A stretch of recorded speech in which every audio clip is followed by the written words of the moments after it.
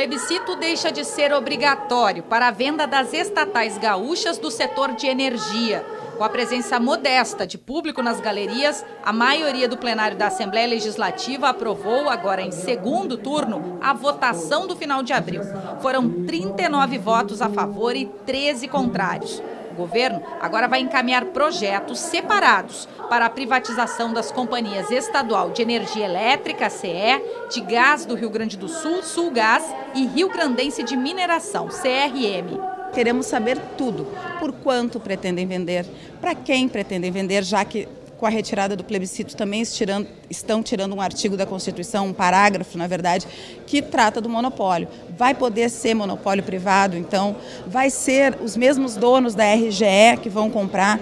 Tudo isso nós precisamos saber. E fora que são empresas diferentes, né? Então, para a Sulgás vai ter que ser uma situação, para a CRM outra. O governo já disse que tem interesse de colocar claramente o que vai fazer, né?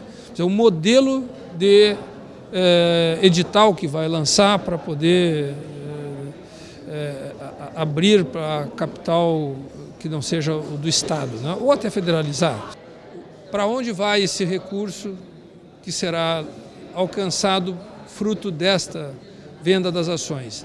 E terceiro, cuidado com o corpo funcional de cada uma das estatais, no mínimo essas três coisas. Para a PEC eram necessários três quintos da casa, ou 33 votos, e aprovação em dois turnos. Já os projetos de lei para autorização da venda das estatais serão votados somente uma vez e precisam de maioria absoluta, ou seja, 28 votos. A expectativa é de que o governo envie os projetos para discussão na Assembleia já na próxima semana. Vai nos viabilizar acelerar um processo para adesão ao regime de recuperação fiscal uh, que vai nos permitir consolidar a posição de não pagamento da dívida com a União e ainda acessarmos a créditos, operações de crédito para ajustarmos a, o fluxo de caixa do Estado e neste ano viabilizar compromissos como o que nós assumimos, que é o pagamento do salário dos servidores em dia ainda neste primeiro ano.